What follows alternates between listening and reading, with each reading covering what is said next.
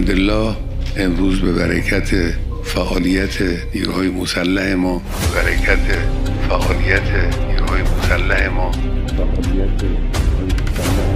سپاه یه جور ارتش یه جور نیروی انتظامی یه جور چهره کشور در دنیای چهره ستودنی شده.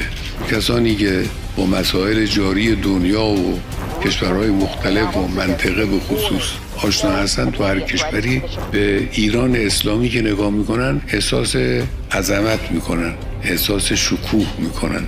ظهور قدرت اراده ملت ایران و نیروهای نظامی ایران در یه عرصه مهم بین المللی این مهم. این مهم. اونایی که تو قضیه ضربه خوردن اونایی که خیلی از این وضع جهانی خوکن ناراحتن اونا از این جنبه ناراحتن. ظهور قدرت اراده ملت ایران و نیروهای نظامی ایران در یه عرصه مهم ببینن